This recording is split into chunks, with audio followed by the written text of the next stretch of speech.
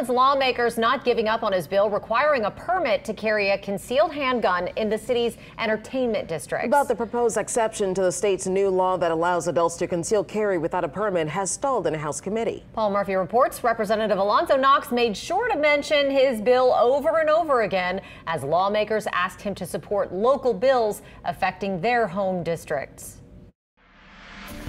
a local bill is a local bill, and I know best. So when I bring my gun free zone bill to your way, I hope you remember that. New Orleans State Rep Alonzo Knox emphasized that bills affecting local districts typically pass through committees and on the floor with no objections. And some individuals outside of New Orleans want to have a say as to what I should do in my district. Do you think that's fair and appropriate?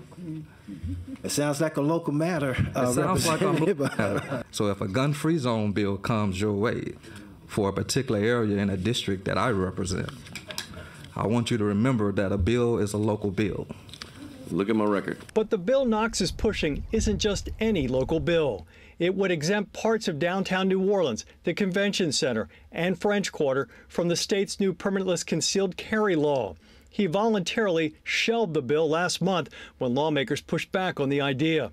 City Council President Helena Moreno says it would protect a two square mile area of the city that attracts up to 18 million visitors a year. In areas that are very crowded, where if you fire a shot to try to hit one person, you may hit 10 in between.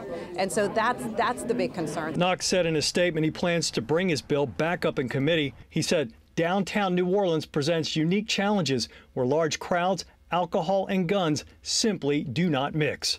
Paul Murphy, WWL, Louisiana. Knox also told us he named his bill in honor of Dario King, the security guard killed outside Wits End and Mid-City, and Jezreel Poliet, who died in last month's mass shooting outside the Republic nightclub in the Warehouse District.